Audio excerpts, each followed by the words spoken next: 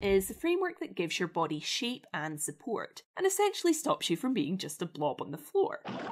Think of it like the wooden beams that make up the internal framework of a house. Now, the human skeleton is made up of more than 200 individual bones, 206 to be precise, and these bones are connected to each other through articulations, ligaments, and tendons. Before we begin, let me first give you a quick overview of what we're going to talk about today. So, the first important fact to establish here is that the skeleton can be divided into two main parts the axial skeleton, which is essentially the core central region of the skeleton, and the appendicular skeleton, which consists of the bones attached to this region or the appendages. Now, the axial skeleton consists of the skull, which can be divided into the bones of the neurocranium and the bones of the viscerocranium. It also consists of the trunk, which includes the vertebral column or the spine, the rib cage, and the sternum, also known as the breastbone. The appendicular skeleton, on the other hand, consists of the shoulder girdle, the bones of the upper limb, the pelvic girdle, and the bones of the lower limb. Don't worry, we won't be looking at every single bone of the body or we'll be here all day, but we will touch on some important points relating to the main bones of each region. So let's start with the axial skeleton, where we'll begin with the skull, starting specifically with some of the bones of the neurocranium. You might be wondering what on earth neurocranium means, but basically it refers to the portion of the skull that houses and protects the brain. We're going to look at three bones of the neurocranium, including the frontal bone. And if we flip our skeleton to view it from behind, we can see the two other bones, the paired parietal bones and the occipital bone. It's worth noting that the temporal bone, the sphenoid bone, and the ethmoid bone also make up part of the neurocranium, but will not be discussed in this tutorial. So let's flip our skeleton back around so we can see the first bone of the neurocranium that we're going to talk about today, which is the frontal bone. And let's zoom in a bit so we can see this bone a little clearer. As you can see, the frontal bone is situated anteriorly and it encompasses the area of the forehead. Moving posteriorly, we have the parietal bones, which articulate with the frontal bone and are also bones of the neurocranium. These paired bones are situated on the top and sides of the head. And if we zoom in slightly, we can see that they're connected to each other at the midline of the roof of the skull via the sagittal suture, which is an example of a fibrous joint. Finally, we have the occipital bone, which is highlighted in green in our image on the right. Again, we'll zoom in for a closer look. The occipital bone is the most posteriorly situated bone of the neurocranium. And as well as protecting the brain, it also provides attachment for various muscles of the head and neck. Now that we've looked at some of the bones of the neurocranium, let's move on to the bones of the viscerocranium. Again, viscerocranium is a bit of a lengthy word, but it simply refers to the bones that form the face. We're going to look at two bones of the viscerocranium the maxilla or the upper jaw, and the mandible or the lower jaw. Again, these are not the only bones that make up the face, there are several more, and if you'd like to know a bit more about the bones of the viscerocranium, our tutorial on the bones of the head and neck is available on our website. So here we see the maxilla, which is a vital bone of the face. This bone, which is also known as the upper jaw, contributes to the formation of the orbit, the nose, and the palate. Let's zoom in so we can see it a bit better. If we flip our skull to view it from below, we can see that it also houses the upper teeth, and therefore plays an important role in mastication and communication. The mandible is the other bone that makes up the jaw. It's also known as the lower jaw and is the only bone of the skull that doesn't articulate with other cranial bones via sutures. If we switch perspectives to view our skull from the side and zoom in slightly, we can see that it actually articulates with the temporal bone via the temporomandibular joint or TMJ, which I've circled for you on your screen. The mandible houses the lower teeth, and like the maxilla, it also plays an important role in mastication and communication. Now that we've seen some of the bones of the skull, let's move on to have a look at the bones of the trunk, starting with the vertebral column. The vertebral column or backbone is made up of 33 vertebral bones known as vertebrae that are connected to each other through numerous joints. It can be subdivided into the cervical vertebrae, the thoracic vertebrae, the lumbar vertebrae, the sacrum, and the coccyx.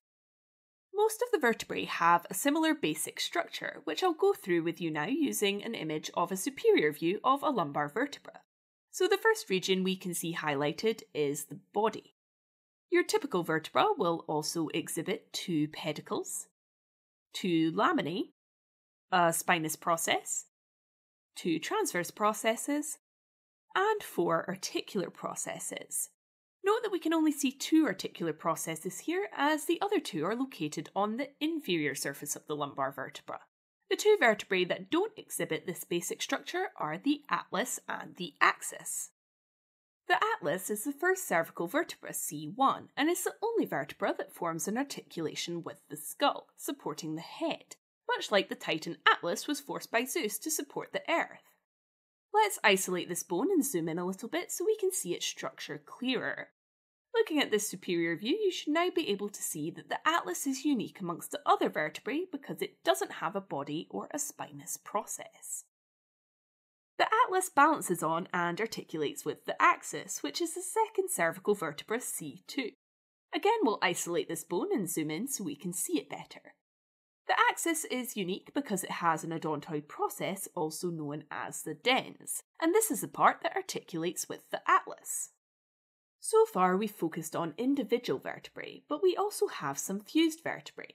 The sacrum is actually made up of five fused sacral vertebrae, and as you can see, it's located at the base of the spine. If we zoom in a little, we can see that this irregularly shaped bone forms a link between the spine and the pelvic bones via the sacroiliac joints, which I've labelled for you on our image. At the distal end of the sacrum is the coccyx. If we zoom in slightly, we can see that the coccyx is made up of three to four fused coccygeal vertebrae. It's the last part of the vertebral column and is connected to the sacrum via the sacrococcygeal joint. Continuing with the bones of the trunk, next we'll look at the bones of the rib cage. Now there are 12 ribs that make up the rib cage. Let's zoom in so we can see them better, but keep in mind that in our close-up we're viewing the ribs from a posterior perspective, whereas our skeleton showed them from an anterior perspective. Although all 12 ribs articulate with the vertebral column, only seven of them articulate directly with the sternum, and we can see these ribs highlighted in green in our image on the right. These first seven ribs are what are known as true ribs because they attach to the sternum directly via their own costal cartilages. The 8th to 10th ribs, on the other hand, are known as false ribs because they articulate with the sternum indirectly through the cartilage of the 7th rib. The last two ribs are known as floating ribs because their costal cartilages tend to end within the abdominal musculature. The last structure of the trunk we'll look at today is the sternum or the breastbone. Now, the sternum is composed of three parts the sternal manubrium, the sternal body, and the xiphoid process. We'll explore the sternum in a superior to inferior direction, starting with the sternal manubrium. The manubrium is a quadrangular shaped bone, and if we zoom in, we can see that it articulates with the clavicle, the first rib, the sternal body, and the second rib. The body of the sternum, or the sternal body, is a flat bone with a convex anterior surface and a concave posterior surface. Let's take a closer look. So the sternal body is quite easily palpable and it forms articulations with the manubrium, the second to seventh ribs, and the xiphoid process. So lastly, we have the xiphoid process of the sternum, which is a small bony projection as you can see in our image on the right. If we zoom in slightly, we can see that the xiphoid process possesses demifacets for part of the seventh costal cartilages, it also articulates with the sternal body. Now that we've looked at the components of the axial skeleton, the skull and the trunk, let's move on to the appendicular skeleton, starting with the shoulder girdle. The shoulder girdle is made up of two bones, the clavicle and the scapula. Let's go on to look at these bones in a little more detail. So, as I just said, the clavicle is one of the bones of the shoulder girdle. This long bone articulates with the acromion of the scapula, forming the acromioclavicular joint, which you can now see highlighted in green. The acromioclavicular joint is also known simply as the AC joint. Now let's look at the scapula. This bone is a flat triangular bone, also known as the shoulder blade, and is located posterior to the rib cage. Let's talk about some key features of the scapula, starting with the acromion. If we change perspective so that we have a posterior view of the scapula and zoom in slightly, we can see how the acromion of the scapula articulates with the clavicle to form the acromioclavicular joint. Another feature of the scapula that we'll look at is the coracoid process. Let's see what this structure looks like on our anterior view of the skeleton. You can see that it's a hook-like bony projection and that it's situated superior to the glenoid cavity. The head of the humerus articulates with the glenoid cavity to form the shoulder joint. To see the last feature of the scapula that we're going to talk about, we need to flip our skeleton. The spine of the scapula is a protruding bony ridge on the posterior surface of the scapula that is easily palpable and separates the supraspinous fossa from the infraspinous fossa. Now that we've covered the shoulder girdle, let's move on to have a look at the bones of the upper limb. In this section of the tutorial, we'll divide the bones of the upper limb into the bones of the arm, the bones of the forearm, and the bones of the hand. Luckily for us, there's only one bone in the arm, and that is the humerus. The humerus is a good example of a long bone. At the proximal end of the humerus is the head of the humerus. If we zoom in a little, we can see that the head of the humerus articulates with the scapula, forming the structure we can now see highlighted in green, which is the shoulder joint. This joint is also known as the glenohumeral joint because the head of the humerus sits in the glenoid cavity of the scapula. Now back to our lovely skeleton here. On the lateral aspect of the humerus is a bony prominence known as the greater tuberosity, seen in our image highlighted in green and situated on the anterior aspect of the humerus is another bony prominence known as the lesser tuberosity. Between these tuberosities lies a deep groove called the intertubercular sulcus, which provides a channel for many structures. At its distal end, the humerus articulates with the radius and ulna of the forearm, forming the elbow joint, seen here within the blue circle on your screen. Next, we're going to look at the bones of the forearm. As you know, the forearm is the part of the upper limb found between the elbow and the wrist. It has two long bones, which are the radius and the ulna. The radius is situated laterally and is the shorter of the two bones of the forearm. At its proximal end is the head of the radius, which forms an articulation with the capitulum of the humerus as part of the compound joint of the elbow. At the distal end of the radius is a downward bony projection known as the styloid process. Let's look at some more articulations that the radius forms with neighbouring bones. The head of the radius articulates not only with the humerus but also with the ulna to form the proximal radio-ulnar joint, which as the name suggests is situated proximally. Distally, the radius articulates with the ulna again to form the distal radio-ulnar joint. In addition, the radius also articulates with the carpal bones of the hand, specifically the scaphoid and lunate bones, to form the radiocarpal joint. The other long bone of the forearm is the ulna. It has a bony protrusion on its proximal posterior surface, which we can see if we flip our skeleton over.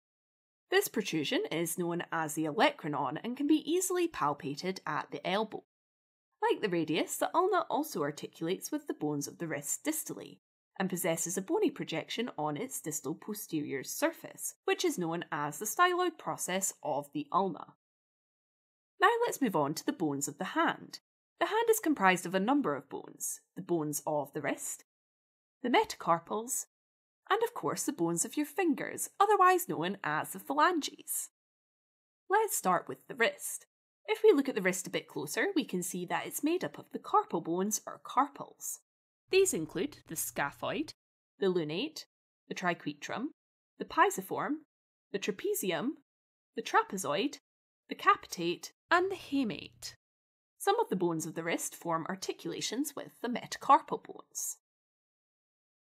The metacarpal bones are the next row of bones in the hand after the carpals. Let's look at them a bit closer.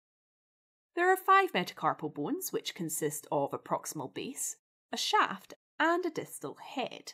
The distal head of each metacarpal bone forms an articulation with the phalanges of the hand, forming the metacarpophalangeal joints, as you can see here within the blue circle on your screen. Lastly, we'll look at the phalanges of the hand. The phalanges of the hand, as we have just seen, are connected to the metacarpals via the metacarpophalangeal joints. Four of the five phalanges of the hand, which correspond to the index, middle, ring, and little fingers, have a proximal phalanx, a middle phalanx, and a distal phalanx. The thumb, however, only has two phalanges, a proximal phalanx and a distal phalanx. The phalanges are connected to each other via hinge joints which are known as the interphalangeal joints. So far we've looked at the bones of the skull, trunk, shoulder girdle and upper limb. Now let's move further down the body to explore the pelvic girdle. The pelvic girdle is formed by the pelvic bones, also known as your hip bones. Three fused bones make up each hip bone, and they are the ilium, the ischium, and the pubis. So, the first component of the hip bone we'll look at today is the ilium. The ilium has several notable features, including the iliac crest and the anterior superior iliac spine. The ischium, as we already saw, is one of the three bones that make up the hip bone. At the inferior surface of the ischium is a bony tuberosity known as the tuberosity of ischium. The final bone that makes up the hip bone is the pubis or the pubic bone. The two pubic bones are united via a cartilaginous articulation called the pubic symphysis, seen here in the image on the right. On either side of the pubic symphysis is a tubercle known as the pubic tubercle. Before we move on to the bones of the lower limb, let's first look at the joint which connects the pelvis to the lower limb, and that is the hip joint. This joint is also known as the acetabulofemoral joint. The hip joint is a ball and socket joint formed between the acetabulum of the hip bone and the head of the femur, which is why we call it the acetabulofemoral joint. The last group of bones we're going to look at today are the bones of the lower limb. So as I said, in this part of the tutorial, we're focusing on the bones of the lower limb, specifically the bones of the thigh, the bones of the leg, and the bones of the foot. Like the arm, the thigh has only one bone, which is the femur. The femur is the longest bone in the human body, and we can see it highlighted in green in our image on the right. If we zoom in on the proximal aspect of our femur here, we can see some key features, such as the head of the femur. The head of the femur, which we spoke about briefly when we looked at the pelvic girdle, articulates with the acetabulum of the hip bone. Next, we can see the neck of the femur, which supports the head of the femur. On the lateral aspect of the femur, below the neck of the femur, is a palpable prominence known as the greater trochanter, seen here. It's connected to another eminence on the posterior aspect of the femur known as the lesser trochanter by an obliquely running line called the intertrochanteric crest. I'm pointing to this crest with the blue arrow on your screen. Moving further down, we can see a distinctive ridge running along the posterior aspect of the femur. This ridge is called the linea aspera femoris and is an important site for muscle attachment.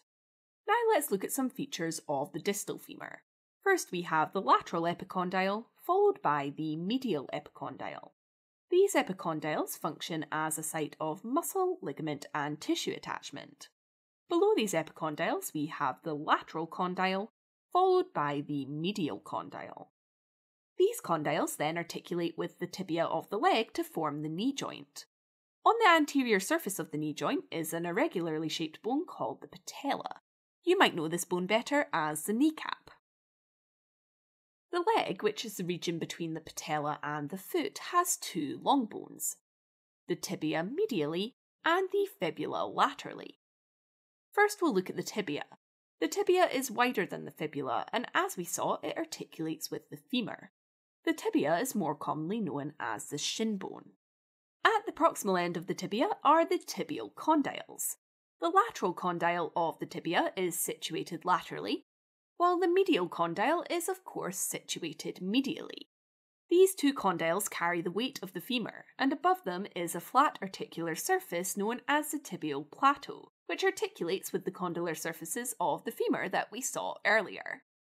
On the anterior surface of the tibia, at its proximal end, is a palpable bony prominence known as the tibial tuberosity. and at the distal medial end of the tibia is a bony prominence known as the medial malleolus. This bony prominence is also more commonly known as the inner ankle. The fibula is the laterally situated and more slender of the two long bones of the leg. At its proximal end is the head of the fibula. It has an irregular shape and articulates with the tibia on the inferolateral surface of the tibial condyle at the tibiofibular joint. At the distal end of the fibula is a bony prominence called the lateral malleolus. You may know this bony prominence simply as the outer ankle. Finally, we'll look at the bones of the foot. The bones of the foot can be divided into the tarsals or the tarsal bones, the metatarsals, and of course the bones of the toes or the phalanges. The tarsal bones comprise seven bones, which we're now going to talk about in a bit more detail. The first tarsal bone we're going to look at is the talus, which forms a link between the foot and the leg via the ankle joint. It's also known as the ankle bone and plays an important role in the stability of the ankle. The second tarsal we'll talk about is the calcaneus, which is also known as the heel bone. I think you'll agree with me that it's a bit hard to see from this perspective, so let's view it from its lateral aspect and zoom in a bit. So now we can see that the calcaneus sits just below the talus, that it's the largest of the tarsal bones, and that it projects posteriorly to form the heel of your foot. The navicular bone is also a tarsal bone and is situated on the dorsum of the foot. If we view the navicular from the side and zoom in, we can see how this bone relates with the other tarsals of the foot. It articulates with the talus proximally, the cuboid bone laterally, and with the three cuneiform bones distally. However, we can only see two of them in this image. Let's move on to talk about these bones. There are three cuneiform bones which are situated on the medial side of the foot the medial cuneiform, the intermediate cuneiform, and the lateral cuneiform bone. Along with articulating with the navicular bone proximally, the cuneiform bones also articulate with the cuboid laterally and with the proximal surfaces of the first to third metatarsals distally. The last tarsal bone is the cuboid bone. If we view this bone from the side and zoom in, we can see that it articulates with the calcaneus posteriorly, the lateral cuneiform medially, and the fourth and fifth metatarsals anterolaterally. Let's move further distally to look at the metatarsals. There are five metatarsals of the foot that connect the ankle to the toes, and they are named 1 to 5 from medial to lateral when you look at them from the dorsal surface of the foot as we are now. The metatarsal bones are connected to the phalanges of the foot via the metatarsophalangeal joints. The final bones of the lower limb that we're going to look at are the phalanges of the foot. These long bones of the foot are situated distal to the metatarsals and make up the bones of the toes. Each toe is comprised of three phalanges with the exception of the big toe which is comprised of only two phalanges. And we can see this better if we zoom in on our image. The second to fifth toes are comprised of a proximal phalanx, a middle phalanx, and a distal phalanx. Each of the phalanges are connected to each other via joints known as the interphalangeal joints. Note that the second to fifth toes each form two interphalangeal joints. The big toe, on the other hand, doesn't have three phalanges. The big toe, or hallux, is comprised of only a proximal phalanx and a distal phalanx. This means that while the other toes each form two interphalangeal joints, the big toe only forms one interphalangeal joint. You'll be glad to know that we're coming to the end of our tutorial, but before I let you go, let's discuss some clinical notes relevant to the skeletal system. Like any tissue in the body, bones can also be affected by disease. For example, bone can become cancerous. There are several types of bone cancer, but we'll focus on two types today osteosarcoma and chondrosarcoma. Osteosarcoma is the most common type of bone cancer and it arises in bone cells.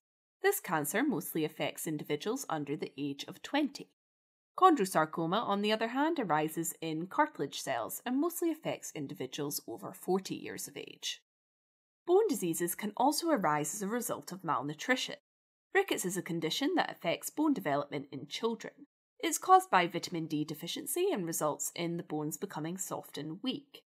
This can result in deformities like we see here in this x-ray, which shows the characteristic bow legs that can arise in individuals with rickets. So that's us finished for today. Let's summarise what we've covered throughout this tutorial. So the first thing that we learned today is that the skeleton can be divided into two main parts, the axial skeleton and the appendicular skeleton. We then saw that the axial skeleton consists of the skull, which can be divided further into the bones of the neurocranium and the bones of the viscerocranium. The axial skeleton also consists of the trunk, which includes the vertebral column or the spine, the rib cage, and the breastbone or the sternum. Next, we looked at the appendicular skeleton, which consists of the shoulder girdle, the bones of the upper limb, the pelvic girdle, and the bones of the lower limb. We looked at the main bones that make up each region and also discussed some important features of these bones. So that brings us to the end of our tutorial on the skeletal system. I hope you enjoyed it and thanks for watching.